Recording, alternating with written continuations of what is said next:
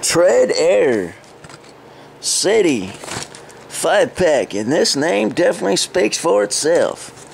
Tread Air, there's Tread Air. To dare the Tread Air would definitely have to be a big, big derriere to your big, big head.